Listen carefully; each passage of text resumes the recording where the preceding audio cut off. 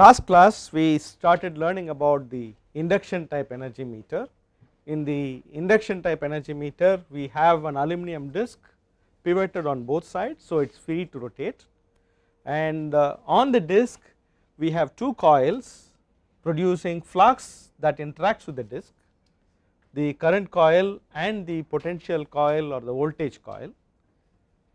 The flux generated by the current coil interacts with the eddy current generated by the voltage coil flux and uh, vice versa that provides a propulsion torque and uh,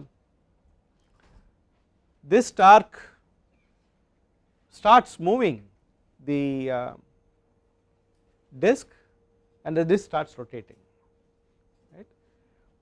There is another arrangement where we just keep a permanent magnet some distance from the center. And uh, when the disc starts rotating there would be an induced EMF because there is the disc itself is a conductor aluminum conductor. When it cuts the flux there would be an induced EMF and uh, we all know that when there is a rate of change of flux the induced EMF and hence the current that flows is to oppose the process of inducing EMF right. So it will have a braking torque and the disc will rotate and stabilize at a frequency omega where the torque that propels the disc and the torque that tries to brake the disc are equal right? And uh, last class we derived that the omega is some constant times the integral of Vi dt right. The integral Vi comes mainly because we are looking at steady state right DC operation okay. The omega may fluctuate a little but what we are interested in a steady state omega and uh, we already saw that we if we count the number of discs uh, count the rotations number of rotations the disc makes what we actually do is integrate the speed of the disc right. So which means the count value will be integral omega which will be integral power.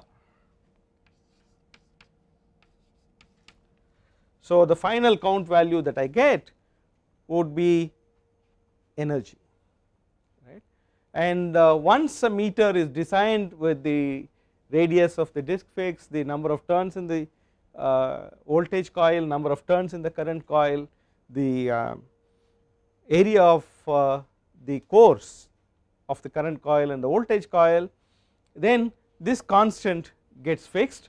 And the constant we normally give in revolutions per kilowatt hour or revolutions per unit of energy. Because we know kilowatt hour is 1 kilowatt hour is called 1 unit of energy. Typically 160 revolutions per kilowatt hour. Or so on okay. Now we also saw that when we started learning the uh, principle of operation of the induction type energy meter we assumed that if I apply a voltage a sinusoidal voltage V then I will have a current I which would be proportional to the voltage and lag the voltage by 90 degrees.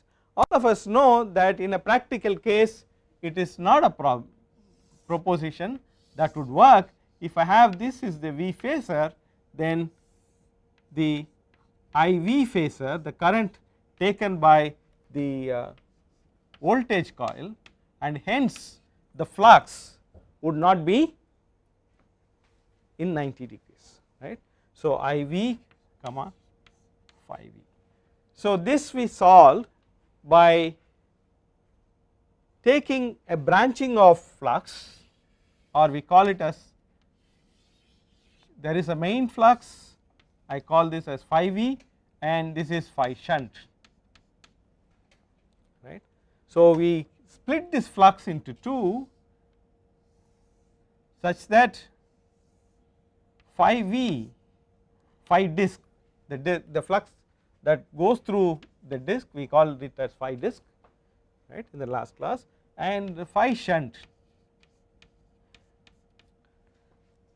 combined together of, uh, of course should come from the total flux generated by the voltage coil. By adjusting the magnitude of the shunt flux now I can make phi d exactly subtend 90 degrees right. So there would be an adjustment on the shunt coil flux there will be a small screw which adjusts the reluctance of the shunt path and hence change the shunt flux. So if we look at it there are two adjustments already now one is the power factor adjustment right which makes it which ensures that the uh, flux produced by the voltage coil is 90 degrees with respect to it. The second is the permanent magnet itself right.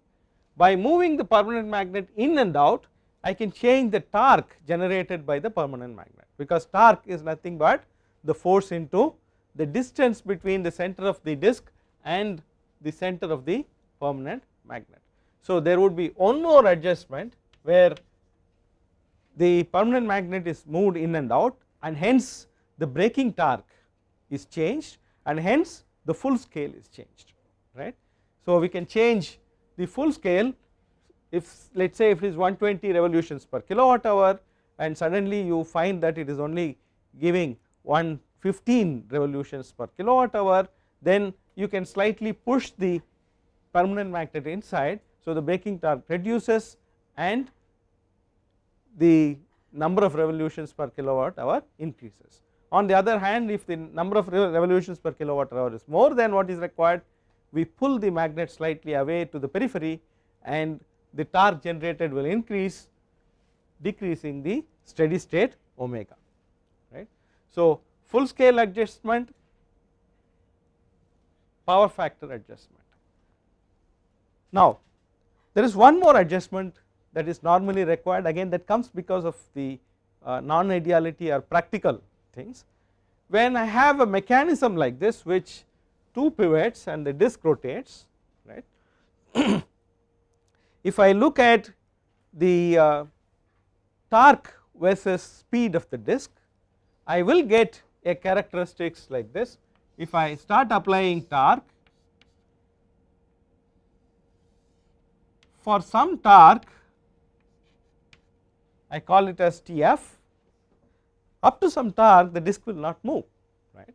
I mean this is uh, very very uh, apparent to everything that is mechanical right. You want to push your motorcycle or a bicycle right you start pushing only after you were able to overcome the friction offered by the bicycle you can start uh, you can really make it move. Once it moves you see that it is much more easier to push. So the same thing will occur here because it is also a rotating mechanism.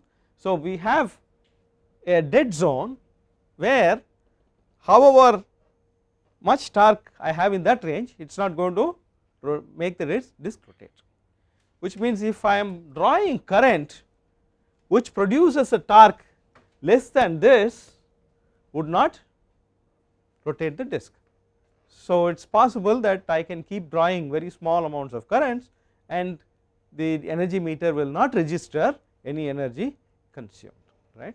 So to overcome this there is another adjustment on the uh, energy meter we have a small protrusion from the voltage coil pole right just when it uh, comes very close to the disk right. And uh, we adjust this to generate another flux. We call this I call it as phi c right. There is phi d itself is now split into 2 phi c and phi d. right the if I look at it now I have two fluxes generated by the same voltage. I will have two currents right? And uh, these two fluxes will not be in phase there will be a small phase difference and hence there will be a small force generated because the uh, additional flux eddy current due to the additional flux will react with the disk flux and so on and vice versa right and uh, we again adjust it such that the force that is generated the torque that is generated by this extra protrusion is exactly compensates for this. So, if I look at it if I look at torque versus uh, omega it starts at 0 it does not start at 0 because have, we have already given a small push right due to this arrangement. Uh, normally what happens is the manufacturer adjusts it for the meter that he makes okay? And then he gives the uh, instrument for usage. And uh, what will happen when the, I have a rotating system and it goes on a usage? Any rotating system when we start using uh, initially gets reduced friction because the, the, these two things will wear each other out and then I will have reduced friction. So, after some time the friction that is required and the torque due to the friction will reduce. So, this is after tau f after let us say 1 year, 1 year of operation. But the adjustment given by the manufacturer is tau f right the friction. The uh, result is even if I have 0 current just by applying the voltage there is a torque that is more than the friction torque and what will happen is the disc will start rotating slowly because this is all small quantities they will rotate very very slowly right. So, these phenomena where the frictional torque adjustment is not exactly equal to the required friction torque right is known as creeping. We say the disc creeps right slowly and the adjustment itself is known as creeping adjustment even though it is not meant for adjusting creeping it is for meant meant for adjusting the friction offered by the rotating system. Uh, because of this phenomena the screw that here would have a creeping adjustment. So, if I look at it there are 3 adjustments on the energy meter the full scale adjustment also known as uh, uh, magnitude adjustment. Second is the power factor adjustment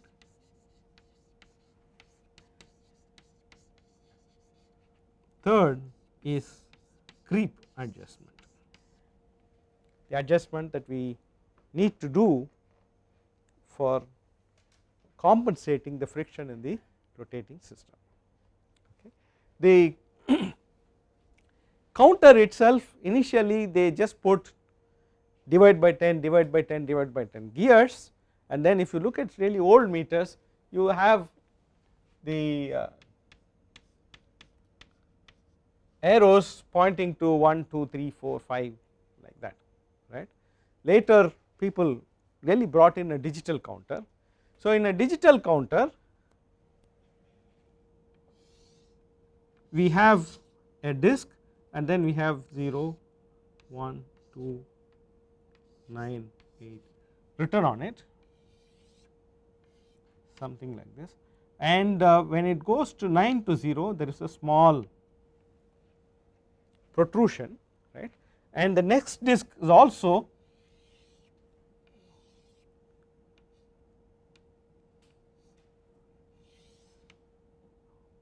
let us say 1 2 3 etc okay? Now when it goes from 9 to 0 at that point only the there will be a mating gap here so it will engage so when it goes to 9 to 0 it will just move by one step. when again goes through 9 to 0 it will move one step. So if you look at it the first wheel will be turning one full turn which means I have uh, counted 10 right then the second wheel will turn 1 right again the first wheel uh, turn 10 count 10 and the second count. So I will show you a, a physical counter right uh, which has been uh, broken open uh, then you can really appreciate how this mechanism with this mechanism we put a window here we can get something like this the reading is perfectly clear. Uh, for some reason even though this is not yet digital right? Digital means 1 or 0 right? Uh, this is still analog. It, the wheel goes through a very smooth motion uh, people call this as a digital counter and uh, the actual discs indicating with arrows were called analog counter in the olden days. now the induction type energy meter was so good right it survived for almost 120 years without any big change right. If you look at what the whatever the manufacturers did 120 years back and whatever uh, they are doing now most of these uh, meters are going out of use uh, mainly because we have we started using a lot of electronics in power systems as well as in instrumentation right. In an electronic energy meter we will have a multiplier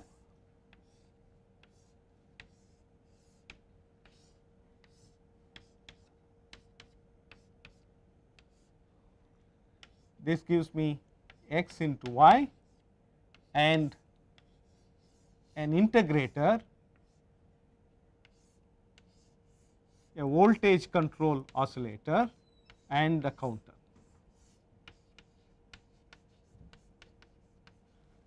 Right. We now look at it if I give a signal proportional to I here, a signal proportional to V here, I will get Vi here, I will get integral Vi which is nothing but the power. From the power to the frequency we had all these mechanisms right. Now in an electronic energy meter the power to frequency is simply given by a voltage control oscillator the oscillator frequency is determined by the input voltage. So if uh, I have 0 volts it will give DC, if I have 1 volt it may give 1 hertz, if I have 2 volts it may give 2 hertz. I am only just giving you an example right? It may not be. Uh, and then the integration of uh, the output of the oscillator is again done by the counter. It is an electronic counter counts once again the number of cycles per second right. In this case the, the counter here counted the number of rotations per second. In that case it will simply count the number of cycles per second of the frequency output of the voltage control oscillator right. And many of these parts are now done in the digital domain right. Some manufacturers give you a single integrated circuit which will have all this right and uh, uh, the uh, uh, multiplier itself uh, major low cost electronic Uh, energy meters use they still use analog multiplier we will talk about analog multipliers a little later when we talk about other instruments. Uh, but some manufacturers also give directly convert the voltage and current in terms of digital and then do a digital multiplication inside. Now whatever we do we see that the meter right is a single phase meter right it has only one voltage and one current right. So we call this as a single phase energy meter okay and uh, all of us know power right is distributed in 3 phase right. So, you can use 3 single phase meters if it is a 3 phase 4 wire system right or we can use just 2 single phase meters if it is a 3 phase 3 wire system. Because in a 3 phase 3 wire system the total energy total power can be computed using only 2 lines right? The third line automatically becomes the sum of the other two lines right? The moment neutral current is 0 or there is no neutral 2 meters are adequate right? And manufacturers did that. They put in 1 meter itself 2 discs right and then put a common stem right. So, if they if I have one disk here another disk here I have one voltage coil here another voltage coil here right and then I put just one common counter right. So, the total power is W1 plus W2 where W1 is power on R line and W2 is the power on B line. So, if I symbolically represent I have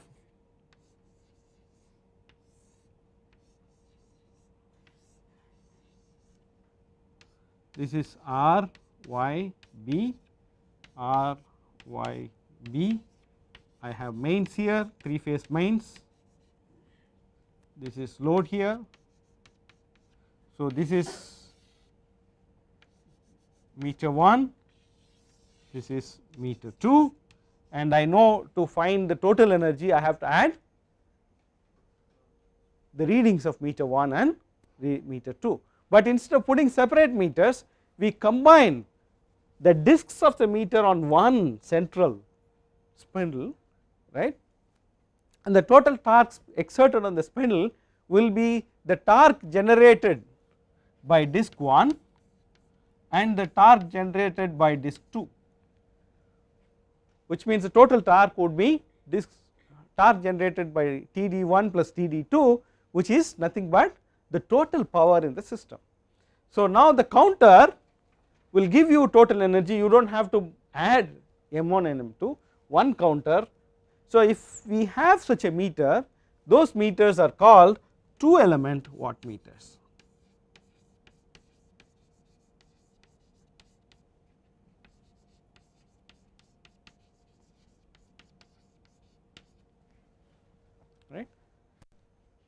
The summing of uh, power and hence summing of energy is done by the mechanical system. And 2 element watt meters can be used only on 3 phase 3 wire systems or you have neutral current 0. If it is a balanced 3 phase 4 wire system I still get the same condition that the third line current is the sum of the other two line currents. If it is a 3 phase 4 wire system which means I also have a neutral between the connected between the main and the uh, load right and there is an appreciable neutral current we need to put a 3 element voltmeter right. If that is the case this is for 3 phase 3 wire system 3 phase 4 wire system. We need to have 3 such discs and 3 voltage coils 3 current coils. And of course one permanent magnet would do. Any one of the discs you can put the permanent magnet. And generally that is done on the central disk that would compensate. So, for a 3 phase 4 wire system you need a 3 element watt meter energy meter.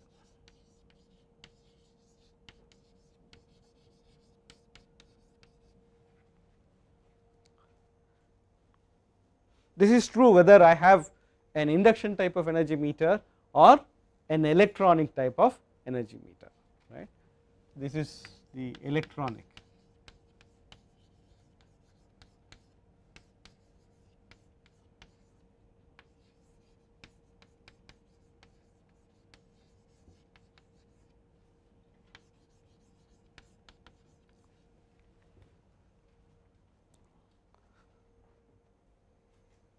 Okay. Let us uh, quickly recapitulate the induction type energy meter is so universal right? If you want to measure energy on uh, AC systems for the last 120 years people used only induction type energy meter. Slowly that is changing. We are using uh, more and more electronic type energy meters right?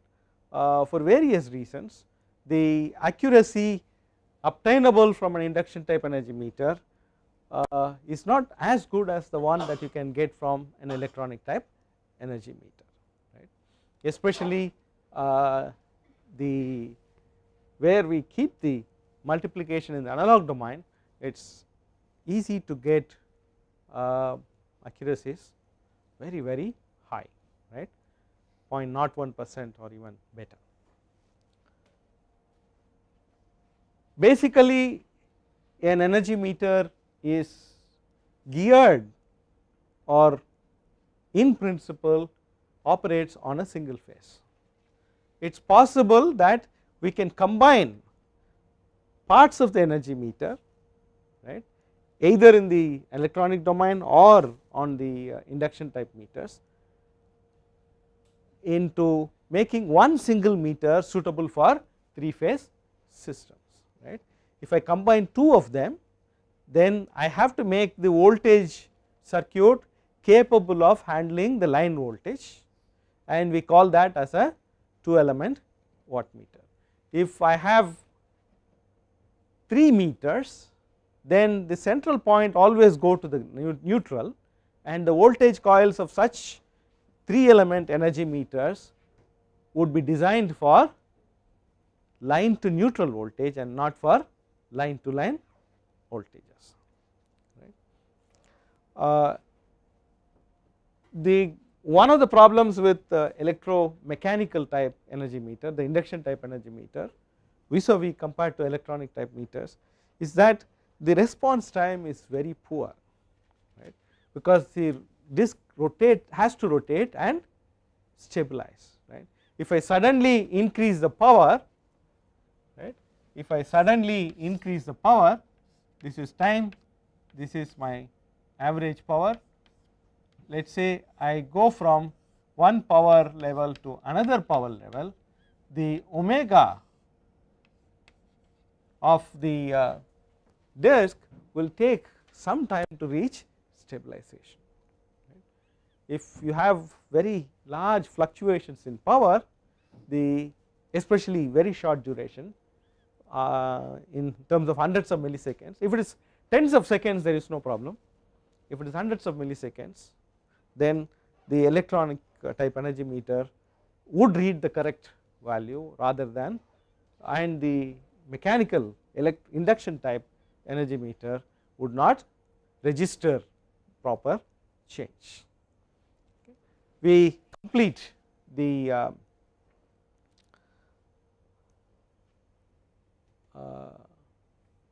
discussions on uh, analog indicating instruments right?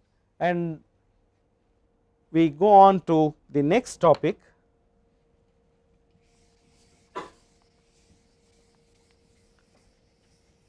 The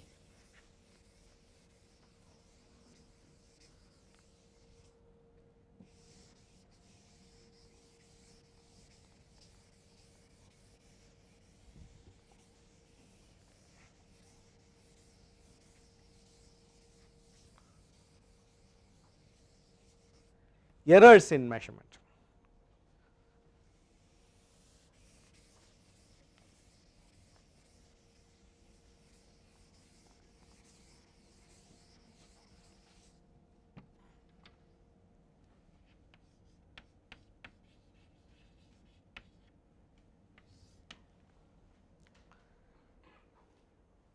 Whenever we make a measurement we should understand that we disturb the system right. For example, let me say I have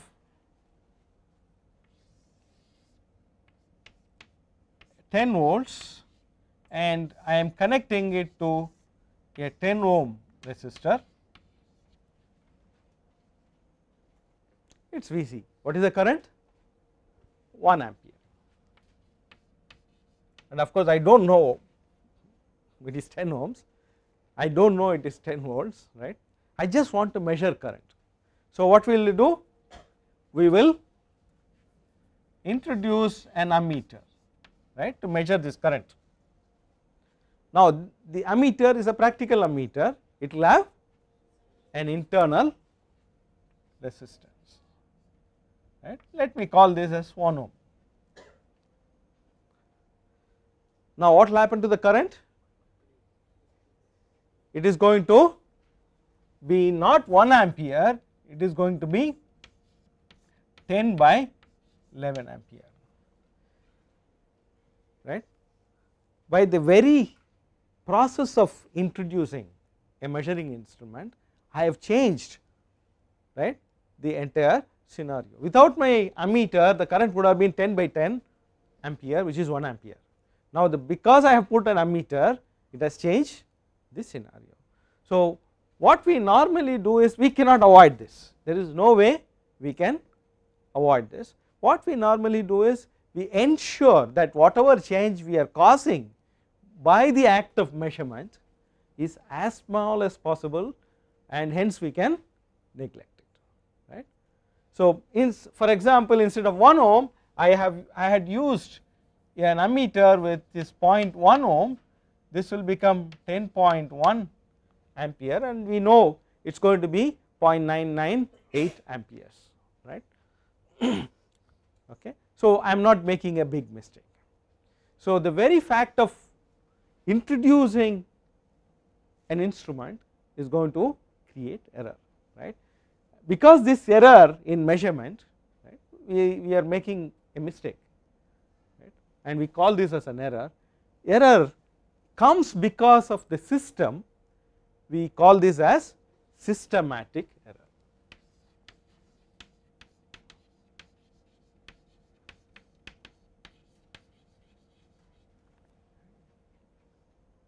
we call this as a systematic error.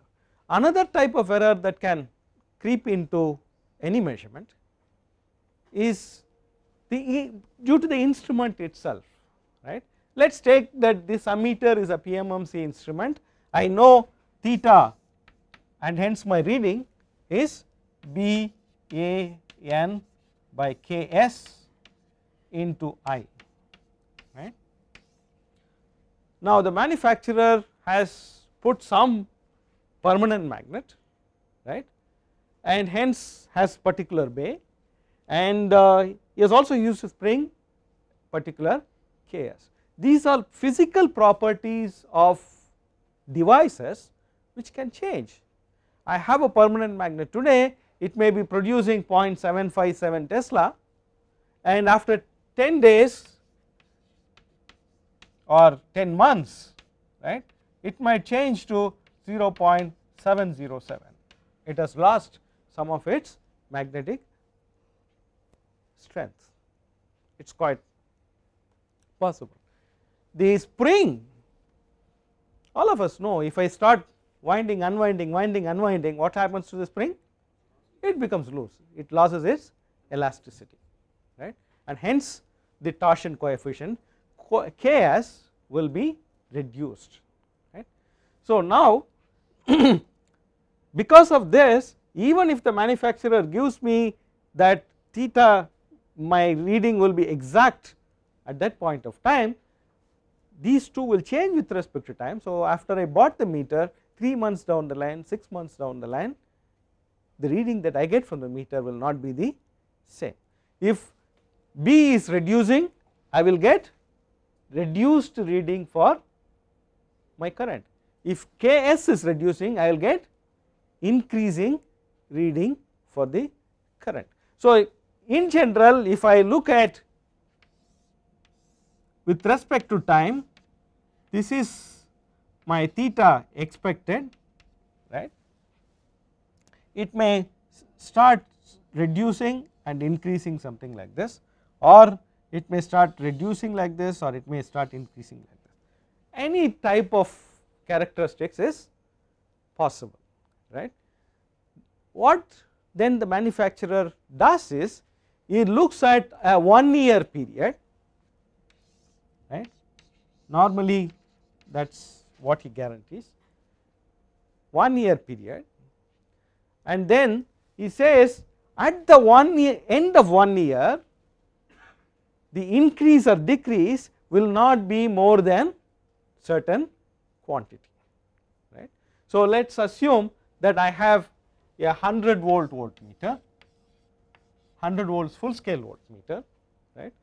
And uh, if this is 100 volts theta corresponding to 100 volts. Let us say this is 99 volts this is 101 volts because manufacturer also does not know how things are going to go right? It could be that his magnet is so good it has not lost its uh, strength till the end of one year and the spring is weak. So I got increase right? Always increase right? Or we could be lucky that the increase decrease in the magnetic strength might be compensated by the uh, spring right? Decrease in spring and even at the end of one year I get exact reading it is it is a choice that no one right? The chance that no one knows about okay. So all he can say is at the end of one year the 100 volt voltmeter the change would not be more than 1 volt I mean I have put it as 1 volt. He can say it will not be more than 2 volts. It cannot be more than 3 volts and so on. Right. now there is another voltmeter. Let us say full scale voltage is 10 volts. And that manufacturer also says that the change would not be more than 1 volt. Right. At the outside it looks both are equal right? Both are changing only by 1 volt by end of the 1 year period, but they are not right? It is a change of 1 volt in 100 volts and this is a change of 1 volt in 10 volts. It is like I am counting let us say 1001 rupee notes, I miscount it as 999, my loss is only 1 rupee. Now I have 10 1000 rupee notes, I count it as 9 1000 rupee notes, my loss is 1000 rupees, right. So this loss or this change or this error is much more than this error. For this reason the error is always specified as a percentage right.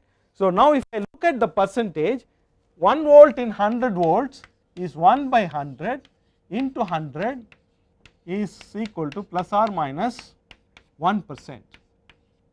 Here if I look at the percentage this is plus or minus 1 by 10 into 100 which is equal to plus or minus 10 percent. Now the moment I look at these two values I know voltmeter 1 is a much much better voltmeter than voltmeter 2. So now we define error is equal to measured value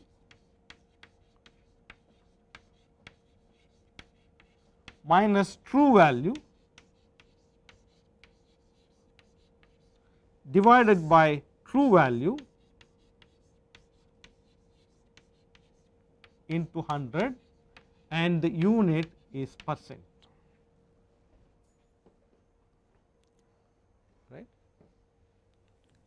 Now when we use an instrument right depending upon the accuracy of the instrument the error is called accuracy.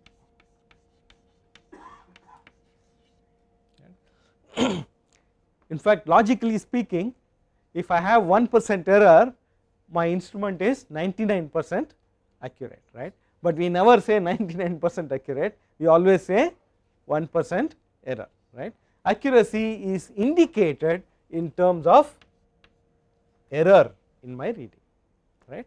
And error is always given in terms of a percentage. Okay. Now, when it comes to an instrument like an ammeter, there are two types of error, right. Error in reading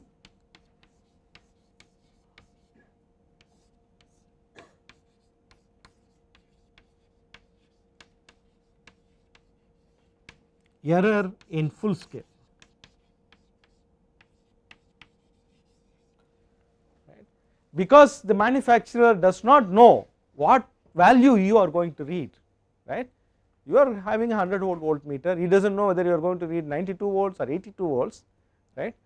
Normally, he does not provide the error in reading, right. Most of the instruments, the full scale error is what is specified in most of the instruments it is a full scale error what is specified and the full scale error in terms of uh, uh, standardization is also given as class of instrument.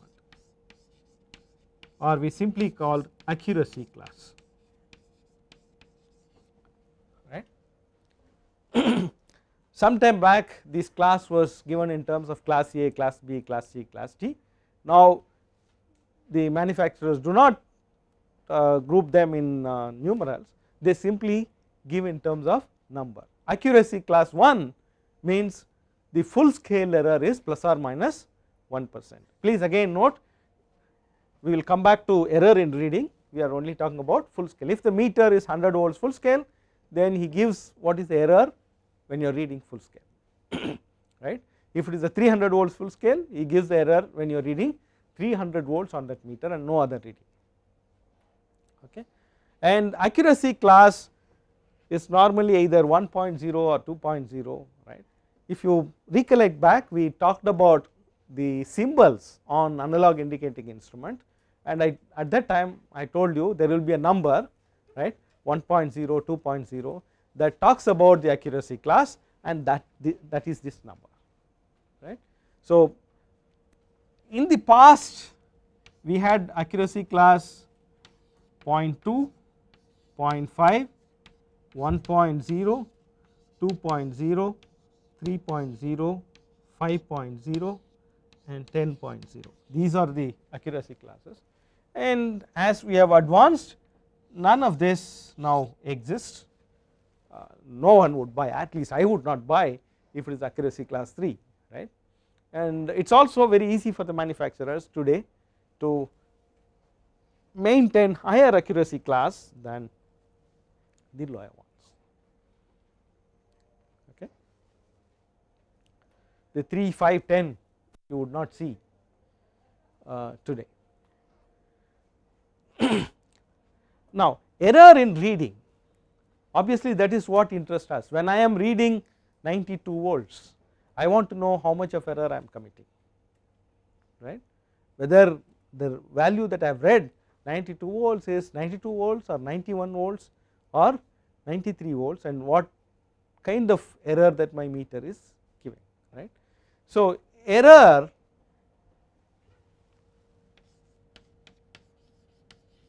in reading can be obtained by the read value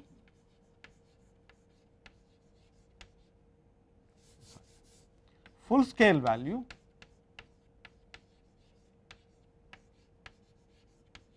by the value read into full scale error.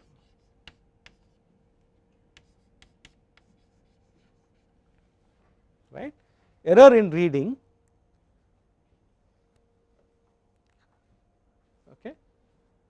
So, for example, if I have a 100 volt voltmeter class 1 right? And my reading is 80 volts, it is 100 let us say it is 50 volts it is easy for me to calculate. This is my full scale, this is my reading into 1 percent that would be plus or minus 2 percent.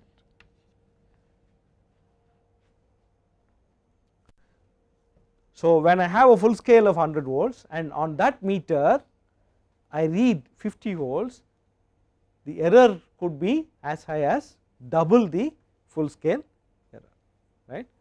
On the other hand with the same meter I read a value of 10 volts then I will get plus or minus 10 percent. This is 50 volts is read here 10 volts is.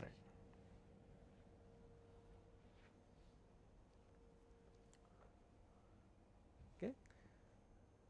So, obviously if I use a meter and start reading at the lower end of the scale the expected errors could be higher right. For a particular meter I keep repeating this I know, but it should go into your mind it is not that I will get 10 percent error. I may get 10 percent error. The error could be 0 the error could be 1 percent. The error could be 2 percent. So, we call this as the worst case error all I know is it will not be more than 10 percent right.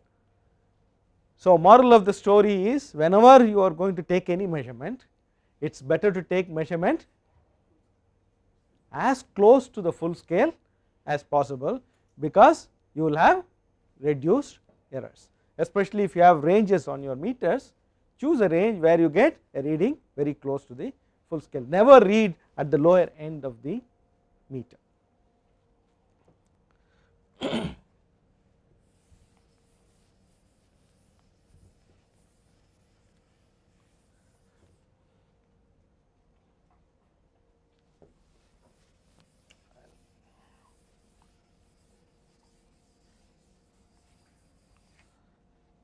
Now, we take another example. I have a resistance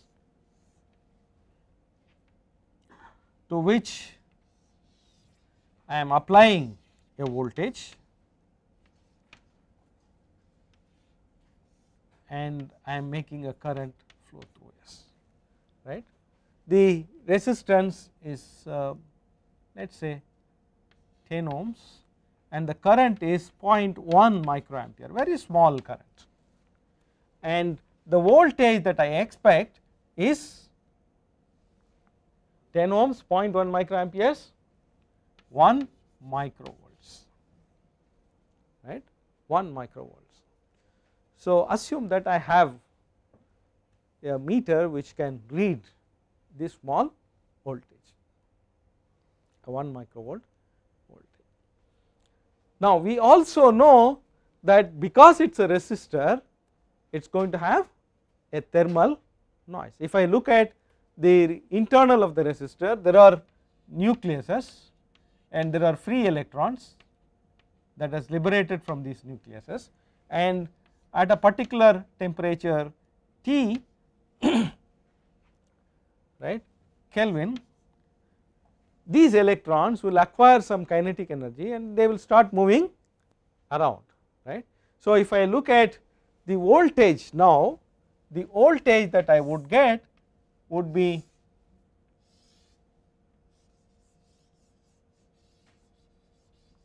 something like this.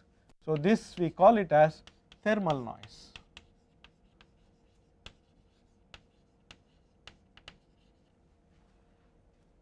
right and uh, we have a formula to calculate this noise En square is equal to 4 k T R delta F where R is the resistance, T is the temperature in absolute Kelvin and delta F is the frequency range of interest. So, if I take a reading now this is 1 microvolts and this could be if a reading I would read as 3 microvolts.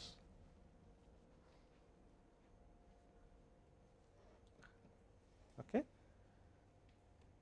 So, depending upon at what point of time I am reading I will get different readings I will not read 1 microvolt right.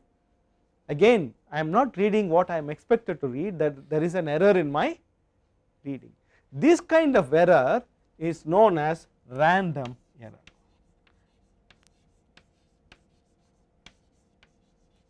because it depends upon when I am reading right. If I am reading at 1 second I will get some value if I read at 10 seconds I will get some other value and so on right. Random errors are normally due to nature right random errors are normally due to nature. There is another kind of error that can creep in as a random error due to interference.